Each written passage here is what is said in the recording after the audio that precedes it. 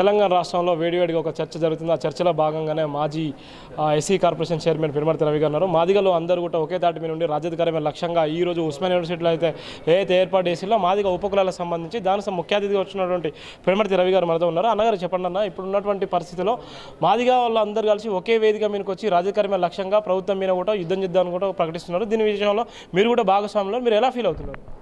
మాదిగల రాజ్యాధికార వేదిక అనేది మాదిగలకు రాజ్యాధికారం రావాలని అంటే ఏ పార్టీలు ఉన్నా మాదిగ ఎమ్మెల్యేలు గెలిపేయాలనే తప్పితే సింగిల్గా సపరేట్గా వచ్చి పార్టీ పెట్టి ఎన్నికల్లో ఓట్లేసుకోవడం కాదు.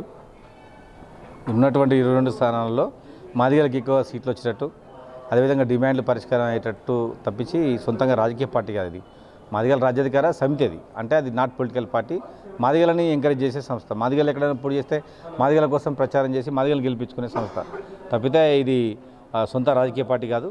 కాబట్టి ఇట్లాంటి సంఘటనలు సంస్థలు ఉండడం వల్ల మాలాంటి వాళ్ళకు చాలా న్యాయం జరుగుతుంది.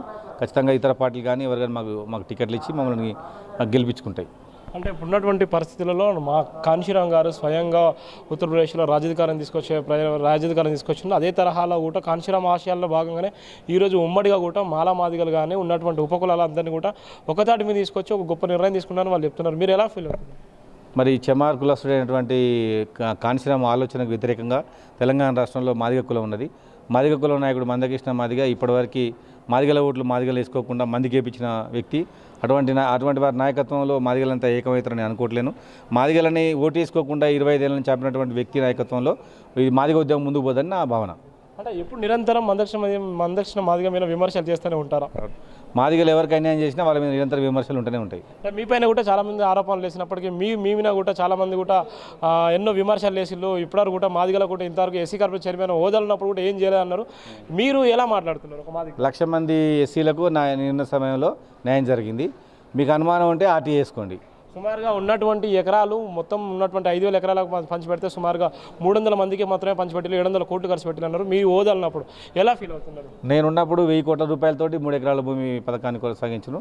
ఆ తర్వాత వచ్చిన కాలువేశ్వరం ప్రాజెక్టు వల్ల తెలంగాణ రాష్ట్రంలో భూమి రేటు పెరిగింది. దానివల్ల ఇవాళ కొనలేకపోతా ఉన్నాం. నా పదవి అయిపోయి రెండు సంవత్సరాల కాలం అయితే ఇప్పుడు ఆ దాని గురించి నన్ను అడుగుతున్నారు. ఇది కరెక్ట్ కాదు. నేనున్న కాలంలో లక్ష మంది ఎస్సీలకు న్యాయం చేకూర్చిన. అంటే ఈరోజు బడ్జెట్ ప్రవేశపెట్టి ఒక లక్ష ఎనభై రెండు వేల కోట్లు లక్ష బడ్జెట్ ప్రవేశపెట్టి ఈసారి పెరిగింది. ఈసారి ఎస్సీ వల్ల కూడా ఈసారి మొండి చాలా తక్కువ కూడా బడ్జెట్ ప్రవేశపెట్టిల్లు దీని మీద మీ అభిప్రాయం? ఎస్సీలకు ఎస్టీలకు బడ్జెట్లో ట్వంటీ టూ పర్సెంట్ వస్తుంది. తక్కువ పెట్టడం ఉండదు ఎప్పటికీ. అది బడ్జెట్లో మన పర్సంటేజ్. ట్వంటీ టూ పర్సెంట్ ఎస్సీఎస్టీలు తెలంగాణ రాష్ట్రంలో ఉన్నారు. ఆ ట్వంటీ టూ పర్సెంట్ లక్ష కోట్ల రూపాయలు అయితే ఇరవై రెండు వేల కోట్ల రూపాయలు తెలంగాణ రాష్ట్రంలో ఎస్సీ ఎస్టీలకు ఖచ్చితంగా బడ్జెట్లో కేటాయిస్తారు. మీకు తప్పుడు ఇన్ఫర్మేషన్ ఉన్నది మీరు కరెక్ట్గా ఒకసారి చెక్ చేసుకోండి. క- ఈ సంవత్సరం సంబంధించినటువంటి బడ్జెట్ ఖర్చు కాకపోతే దాన్ని క్యారీ ఫార్వర్డ్ చేసి ఆ డబ్బులను కూడా వచ్చే సంవత్సరం బడ్జెట్లో పెట్టి ఖర్చు చేస్తారు. తప్పితే మన నిధులను దారిమలించడం కానీ మన నిధులను వేరే వారికి ఉపయోగించడం కానీ నిధులను ఖర్చు పెట్టకపోవడం మాత్రం జరగదు. వాటిని క్యారీ ఫార్వర్డ్ చేసి నెక్స్ట్ ఇయర్ ఖర్చు పెడతారు. టీఆర్ఎస్లో ఒక ఒక మీరు ఎస్సీ క్యాండిడేట్గా ఉండి ఒక మాజీ చైర్మన్గా ఉండి మీరు ఇంత సపోర్ట్గా ఉంటే మిగతా వాళ్ళు ఏ విధంగా ఫీల్ కావాలి? అంటే?